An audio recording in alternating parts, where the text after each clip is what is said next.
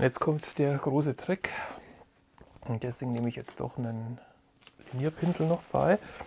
Äh, die ähm, Seerosen, die haben alle einen Schatten nach unten hin. Und das ist ein ganz tiefes, dunkles Grün. Oder dunkelviolett. Also in jedem Fall eine sehr, sehr dunkle Farbe.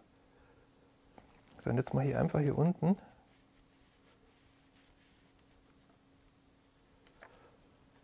den Schatten von der Sonderseerose, die so leicht hochgebogen ist.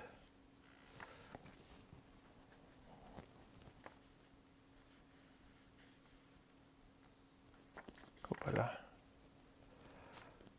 So, da muss ich jetzt sehr sorgfältig sein, dass ich wirklich jede einzelne Seerose jetzt mache, weil sonst kriege ich ein Problem.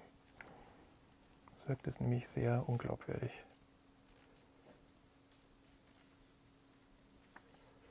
Also im Prinzip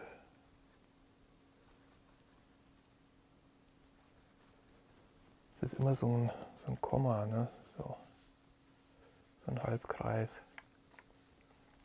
Und zwar auf der lichtabgewandten Seite. Ne?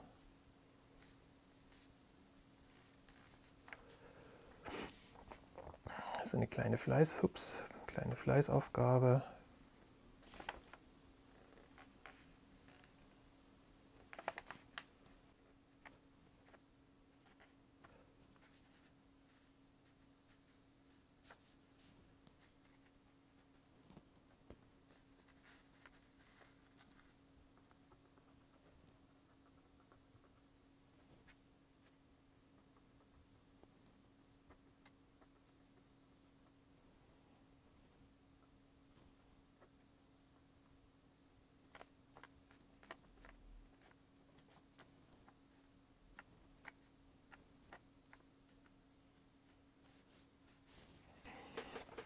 So simpel ist es. Ich habe gesehen, dass ich hier zwischendurch auch immer wieder so kleine dunkle Flächen gemacht habe. Das ist halt, weil hier halt viele Blätter sind, aber die hinten halt sehr klein sind. Das brauche ich wirklich nur andeuten. Ne? Das muss jetzt nicht mega exakt sein. So, damit sind wir das Bild eigentlich schon fast fertig. Ähm, ich werde jetzt noch einen sehr sauberen Pinsel hier noch ein paar ganz helle Stellen drauflegen mit fast rein weiß. Gehe so ein ganz klein wenig in die fast abgetrocknete Farbe rein und male mir jetzt hier nochmal so eine helle Stelle drauf.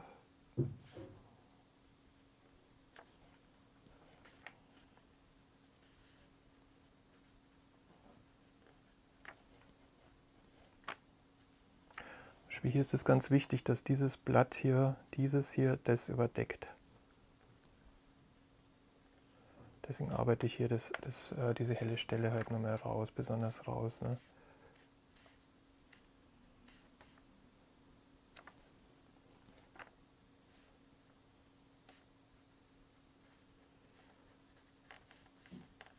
hier zum Beispiel auch dieses Blatt muss das dahinterliegende überdecken dadurch kommt halt dieser, diese dreidimensionale Struktur erst so raus. So, hier hinten deute ich das einfach nur so, so an mit so ein paar Tupfern.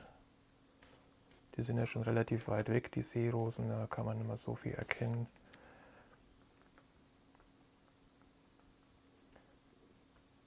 So. Sieht doch nett aus, ne? Ich gerade noch gucken. Jetzt mit dem Pinsel so, nur ganz leicht, ups, das war schon zu viel, dass er fast keine Farbe mehr hat und dann so nochmal, so, kann es auch mit dem Finger nochmal verwischen, so nochmal so drüber gehen, damit, hier, dass ich, damit ich hier noch so ein paar Reflexionen habe. War vielleicht ein bisschen zu krass jetzt mit dem Weiß.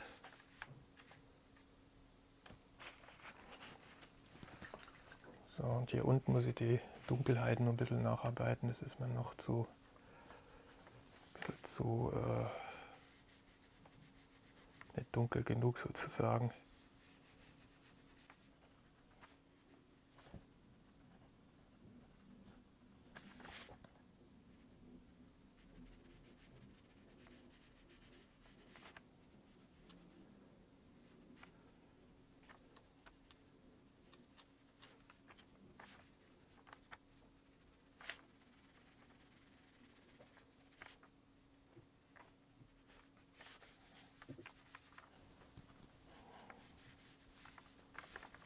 Seht, dass ich diese Ecke jetzt noch ein bisschen nachdunkle, einfach um äh, das Auge noch ein bisschen mehr so da jetzt reinzuführen. So, das reicht jetzt. Jetzt kommt es immerhin schon fast fertig. Über eine halbe Stunde, das ist eigentlich eine gute Zeit für ein, so ein kleines Video. Jetzt fehlen nur noch die Seerosen. So, die Seerosen, die deuten wir nur an. Ähm, wir fangen mit dem Krab an. Gehe so, ups, da ist ein Wassertropfen. Hell das ganz klein wenig mit dem, nun geht es mit der Reihenfarbe hier rein ähm, und hau die jetzt hier so nur dazwischen.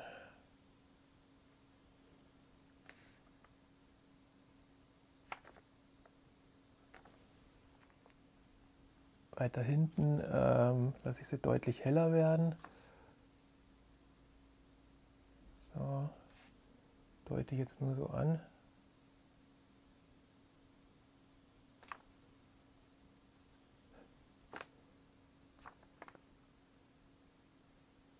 Also hier führe ich den Pinsel einfach von oben nach unten, um die, die sind ja praktisch wie so Finger geformt. Ne? Nur das kann man natürlich jetzt auf die Entfernung nicht mehr sehen, nur so dass das Auge so ein bisschen zu betrügen sozusagen. Das Auge denkt, ah okay, da, das, ach das sind ja die Blüten. Ne?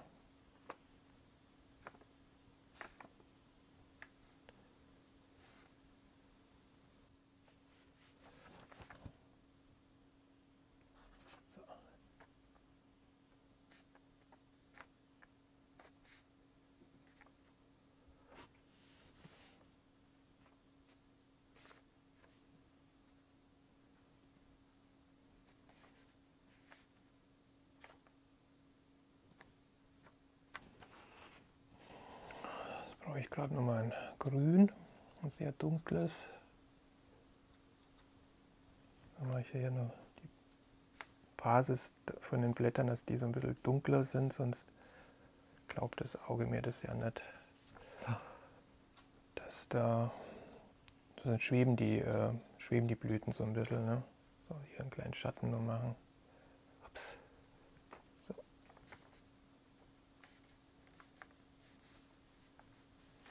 Okay.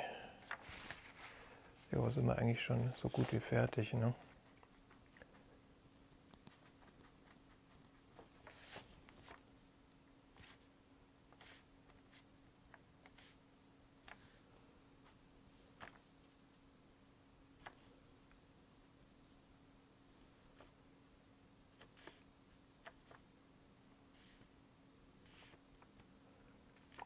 Also hier hinten sind halt nicht so intensiv sein, also die perspektivisch weiter weg sind die intensivsten Farben habe ich halt hier vorne. Ne? Dämpfe ich das noch ein bisschen ab hier und malen wir hier noch ein bisschen dunkleres Grün hier zwischendurch noch rein, das ist ein bisschen zu dunkel. Einfach damit hier so ein bisschen eine andere Farbe drin ist.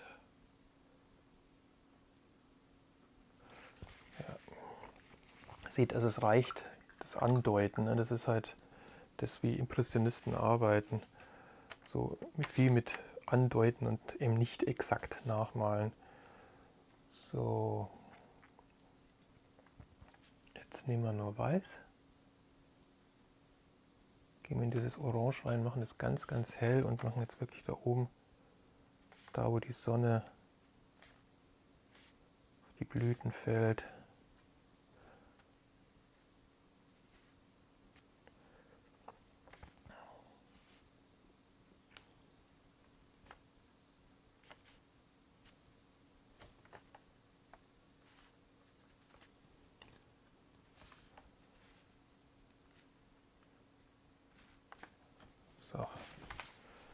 gut.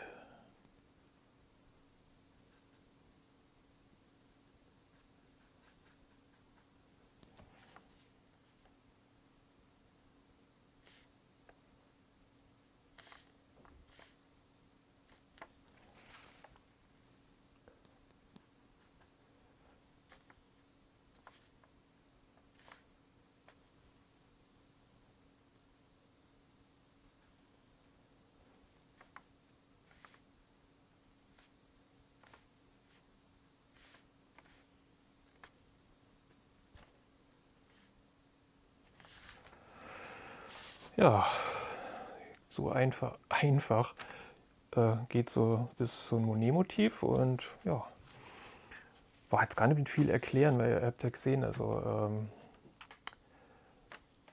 so diese Striche, diese Striche und dann diese punktförmigen ähm, Blüten sozusagen und ganz zum Schluss signieren wir das natürlich wieder und gerne mit diesem schön warmen Farb Farbton, den wir uns hier angemischt haben. Und dann bleibt mir nur noch, ich würde ja gerne mit Moni unterschreiben, dann bleibt mir nur noch euch äh, viel Spaß beim Nachmalen zu wünschen. Und ja, bis zum nächsten Video würde ich sagen. Macht's gut, bis dahin. Tschüss.